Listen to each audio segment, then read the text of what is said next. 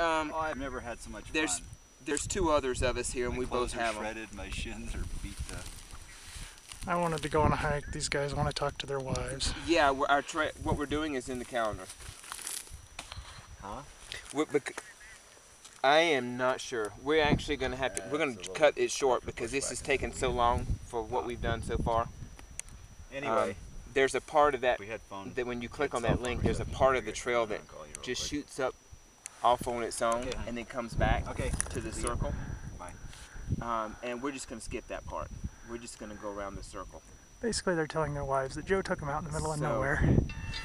Um, so even though we're probably Here we are on Mound Mountain. Some people take that little wussy fire line trail and come up the ridge and whatnot, but we took the eight and a half hour approach.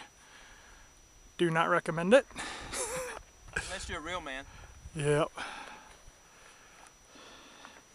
But basically, nobody can say that they've come this way until they've done it, so.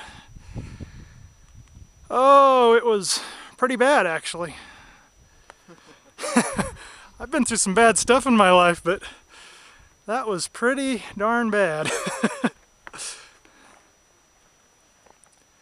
Excellent views up here. We got up here and uh, somebody's already been here today. We think they took the chopper in.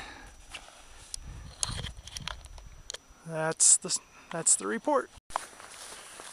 Here we are going through the grass clumps. One of my favorite sections in the superstitions. There's Dave and John. And we went on a nice little, little tiny hike today. Among the worst bushwhacks of my life. Hard to say what's the worst, but it was definitely up there.